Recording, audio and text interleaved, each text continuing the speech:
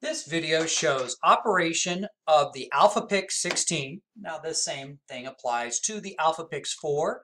This is the classic controller, but similar operation applies to the AlphaPix Flex or other controllers in the AlphaPix range. We are going to show you the difference in the setup methods between multicast or broadcast and unicast. So a little bit of basic information. Unicast is where we're directing traffic from a device directly to another device. So in the packet of data will be an IP address, such as 192.168.0.50, going directly to a device. It doesn't go to any other devices. Now, broadcast or multicast is going to go to all devices on a given subnet or adapter. This means that all devices listening and that support multicast or broadcast will listen for the information coming across the network and say, oh, I have that given universe and that DMX channel I'm going to operate. So first what we're going to do is just show you a controller here. In this particular case, this controller is just default. We can see that it has a static IP address. This also works with DHCP and its IP address 192.168.10.247. And so that's on this network, which we have set up. And we have, in this particular case, E131. But this also applies to ArtNet.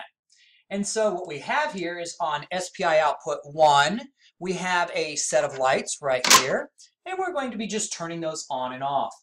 Now, the application we're going to be using for, for examples today is xLights. And this is a free application, but your application may differ, but will still be similar in operation. Now, what we're going to do is we're going to go in and we have to first tell it that we want to use uh, multicast. So first we're going to show you multicast, then we're going to show you unicast. And we're going to show you how they can control the same outputs just differently.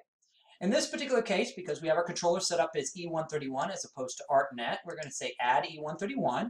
And we have an option here for multicast. Now your application may show broadcast, so we're going to say multicast. And then what we're going to do is put in just our universe. So we have universe 1, number of universes 1. So this will cover all the pixels on this stream, which is, of course, hooked up to output 1, which is universe 1, which starts with DMX channels 1 through, in this case, 150, because we have 150 channels or 50 pixels. Uh, so technically, we could actually do uh, this. We could do uh, 150. All right. Now, we're going to go up to the Tools, Test tab, and we're simply going to just turn this on.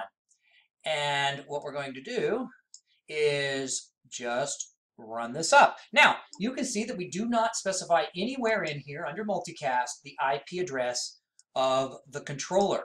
It's just putting out all the data going to the entire network.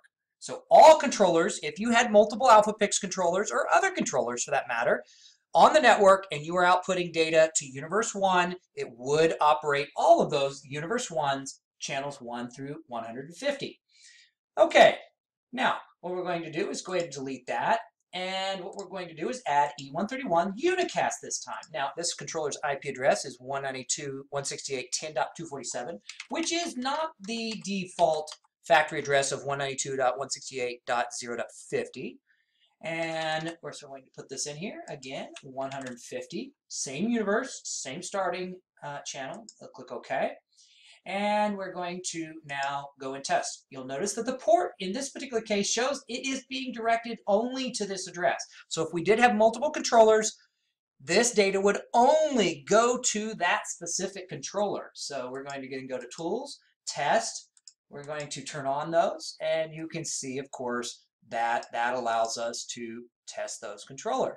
So the AlphaPix supports broadcast, multicast, or unicast, whichever you like. And so if you want to boot up your application and use multicast uh, for configuration and you find that easier and there's no issues with network traffic or other issues that may be present with uh, multicast, feel free to use multicast. Again, you need to make sure that your firmware here, in this particular case, is at least version 2.11 or higher on an AlphaPix uh, 16 or 4.